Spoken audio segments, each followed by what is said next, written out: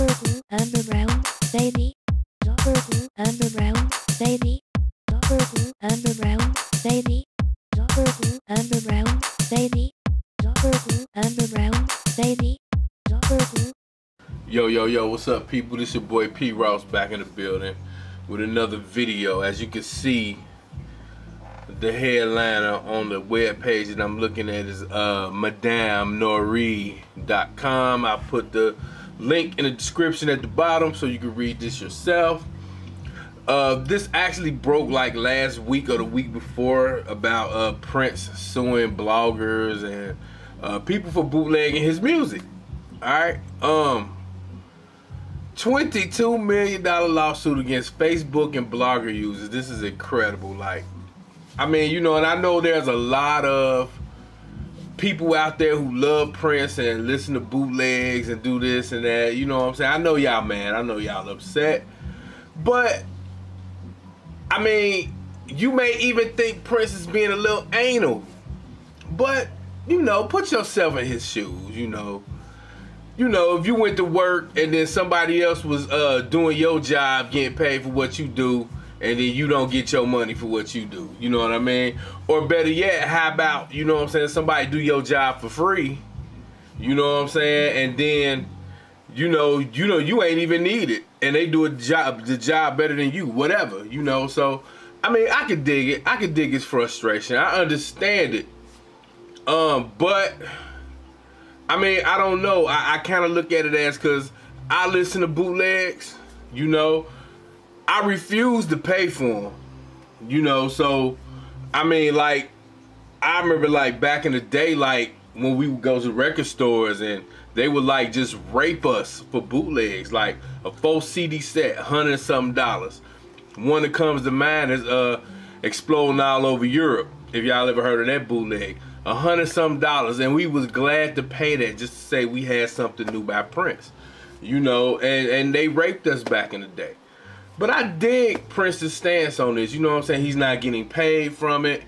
You know, uh, so why should anyone else? You know, so I mean I get it, but let's move on with this lawsuit. Um they actually got this from spin.com uh, Prince is suing 22 members of Facebook and Google's blogger uh, for copyright violation and wants them each to pay $1 million. All right, according to the 21 page complaint filed in U.S. court in San Francisco, the defendants engaged in massive infringement and bootlegging of Prince's materials. The lawsuits targets whoever these people are and a a particular bootleg, I guess, from 1983, Chicago, from World of Bootleg, blogspot.blogspot.com.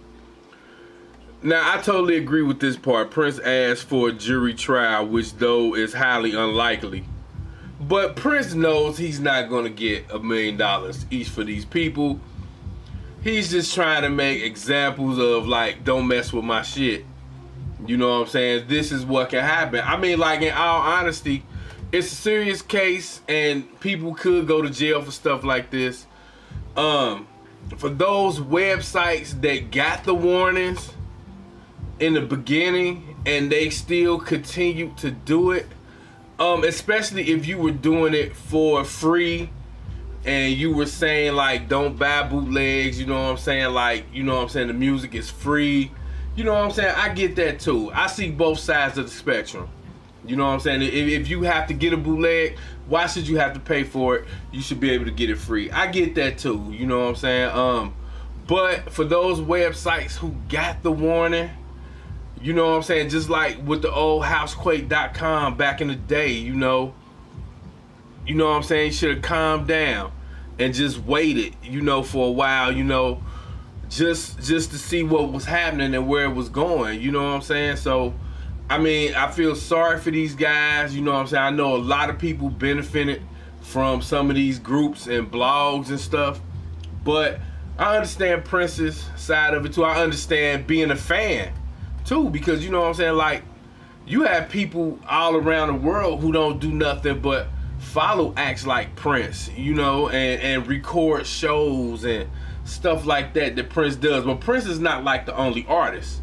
there there are tons of artists that has that loyal following that follow them around the world that record these shows and do things of this nature. So, I mean, Prince is not the only one. I've never heard of anyone being as hostile as Prince doing it, but you know, I know there are other artists that has that same following as Prince, if, if not more than Prince. But I will say this too. You know, I understand it being a fan, and I understand it from his side. You know what I'm saying? Um, I don't think that that no one can understand it as much as a fan can, though, and why fans would be upset. But fans need to understand his side too. So that's all I say about that, you know. So um get into it. Let me know what y'all think about this $22 million lawsuit against Facebook bloggers and users and stuff like that. It's crazy, man. You know what I'm saying? It's crazy. You know, shit getting real. All right, peace.